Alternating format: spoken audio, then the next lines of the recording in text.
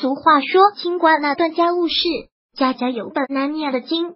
世间的人活着就有烦恼，有钱人有有钱人的烦恼，穷人就只会为钱烦恼。即便是享誉国际的名人也是如此。著名国际球星贝克汉姆是全球公认的帅哥，即便已经是退役多年，但是他的影响力从来就没有衰退过。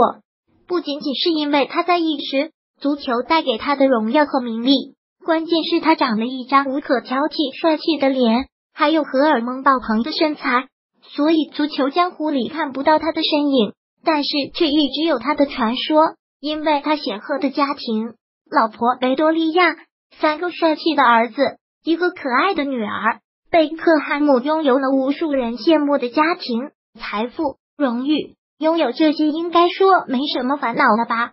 但是并不代表他的社会关系也没有烦恼。昨日，经媒体爆料，贝克汉姆十七岁的外甥费雷迪公开在媒体面前哭穷。宣称自己的银行账户里只剩下一点三六英镑，期盼与失散九年的舅舅贝克汉姆见上一面，并表示只是吃顿饭，没有别的要求。随后，费雷迪也大倒苦水，讲述了自己现在的惨状。费雷迪自曝，现在跟穷困潦倒的父亲一起住在只有一个房间的政府安置房，靠父亲的救济金度日。他目前正在学习砌砖课程。同时，姐姐还无处安身，还怀孕了四个多月，经常只能借住朋友家。而另外一个十三岁的弟弟和妈妈住在一栋价值四十七万英镑的豪宅，房子。是贝克汉姆出钱买的。据英国媒体报道，贝克汉姆的姐姐林恩和费雷迪的爸爸一九九八年结婚，但是二零一零年离婚。两个大的孩子给父亲，小儿子跟妈妈生活。以这些信息来看，费雷迪没有说谎。费雷迪的这次公开哭泣引起了网友的热议，甚至是全球关注。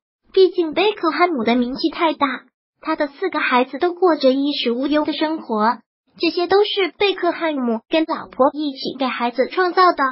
相反，外甥过得如此的穷困潦倒，消息爆出去肯定会引起高度的关注。虽然贝雷迪强度自己，并强调没有别的意思，只是想跟舅舅见面，让亲情可以延续下去。只是这是不是他的真实内心想法？跟他哭穷一比，其实都知道他的用意在哪里。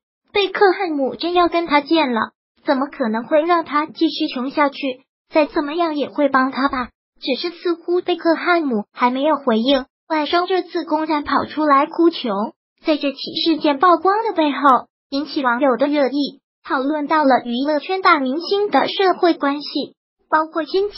其中，娱乐圈不老男神刘德华，他也有一个一度穷困潦倒的姐姐。刘德华在粉丝心中一直是一个都粉丝都家人的偶像，孝顺父母，疼爱老婆孩子，而他姐姐却一直是他身边的反面教材。一度还让刘德华背负对穷姐姐恶不闻不问的骂名，与刘德华的财富要帮助一个穷困的姐姐是轻而易举的事情。但是刘德华仿之认知情理上有点说不过去。